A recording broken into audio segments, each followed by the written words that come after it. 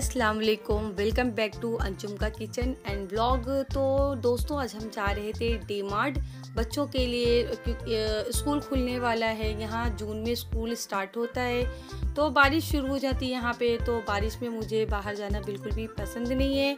तो हमने सोचा कि अभी जाके थोड़ा बच्चों के लिए बैग, बॉटल, टिफ़िन और थोड़ी स्टेशनरी ख़रीद लेते हैं।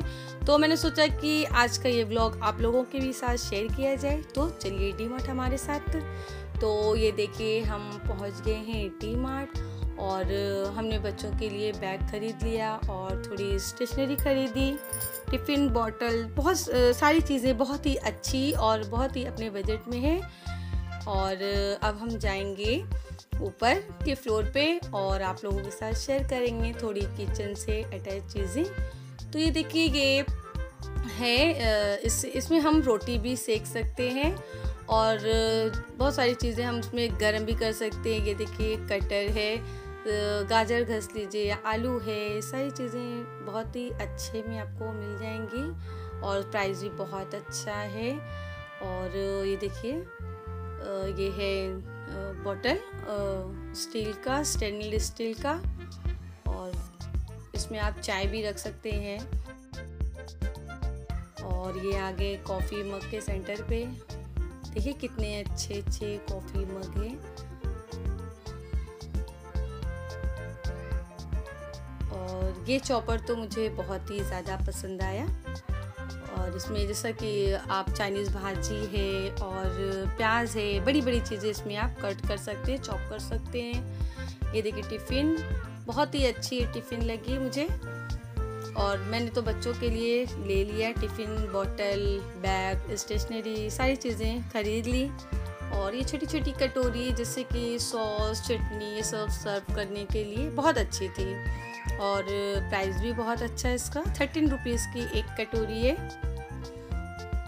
और ये चम्मच सर्विंग और ये छोटे छोटे जार देखे कितने खूबसूरत लग रहे हैं, बहुत ही अच्छा है ये। एक जार का प्राइस ट्वेंटी फाइव रुपीज़ था। ये देखिए कितने खूबसूरत लग रहे किचन में रखने के लिए सब सारी चीज़ें।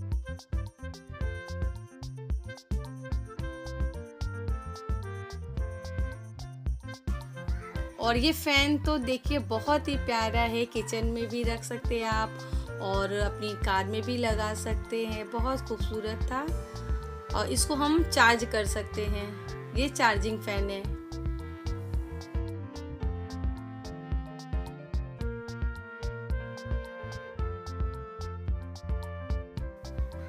और ये है अंडा बॉईल करने वाला। ये इलेक्ट्रिक है। इसमें सात अंडे, एक साथ आप आसानी से बॉईल कर सकते हैं।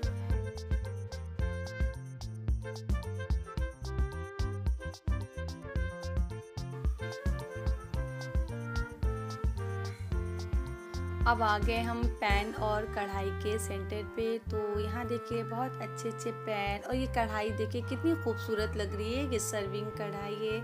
जैसे कि आप मटन कढ़ाई मटन कढ़ाई जो भी बनाए तो इसमें सर्व करें, बहुत ही अच्छा लगे। इसमें आप पैनकेक पुडिंग इडली और मोमोज आराम से बना सकते हैं। ये देखिए है डोर मैट बहुत ही प्यारा, खूबसूरत इसका कलर है। तो मैंने सोचा कि ये सब सारी छोटी छोटी चीज़ें आप लोगों के साथ भी आज शेयर करते हैं। और ये है बच्चों को सुलाने वाला बिस्तर इसके बैक साइड में प्लास्टिक भी लगा हुआ है और ऊपर कपड़ा है। और ये है टॉवेल। बहुत ही एकदम सॉफ्ट टॉवेल था ये।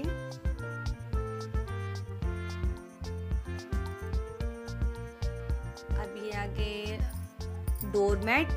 बहुत ही स्मूथी डोर मैट। बहुत अच्छा आप बेड के पास भी इसको बिछा सकते हैं और दरवाजे पे भी बिछा सकते हैं। सॉफ्ट सॉफ्टी एकदम, बिल्कुल भी स्मूथ ही। अब ये आ गए हम बेडशीट की तरफ़।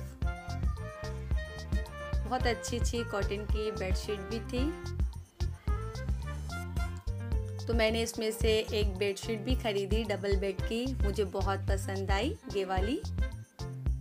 इसका कलर भी बहुत प्यारा था तो मैंने ये वाली बेडशीट भी खरीदी।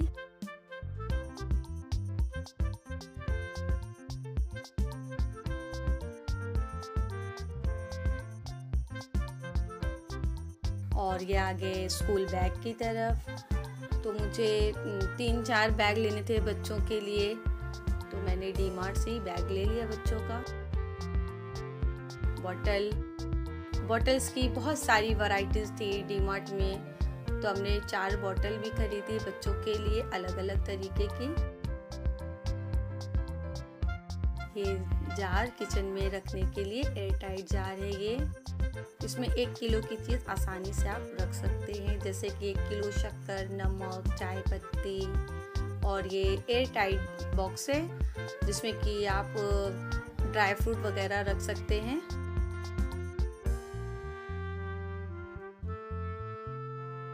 ये स्टोरेज बॉक्स है, आप इसमें बची हुई चीज़ें फ्रिज में अच्छे से स्टोरेज कर सकते हैं। ये भी स्टोरेज बॉक्स है।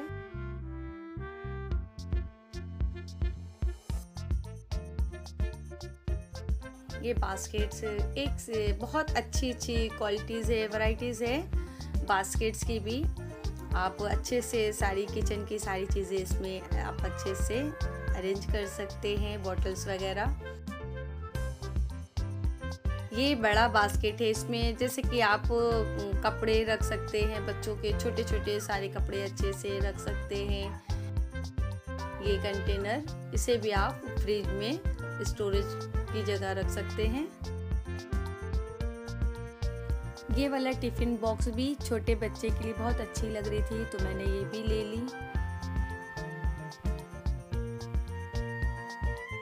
और ये है हैंगिंग वास इसमें आप फ्लावर लगा सकते हैं अच्छे से। कोई भी फ्लावर आप लगा के खिड़की की ग्रिल में टांग दीजिए।